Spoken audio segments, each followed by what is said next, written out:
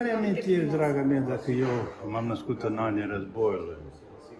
Pe mine m-a influențat toți anii copilăriei aceste urmări de cauza războiului. Sărăchia, foamea, tot ce era distrugere, distrămare, tot, tot, tot. Am crescut în familia noastră într-o sărăchie extraordinară.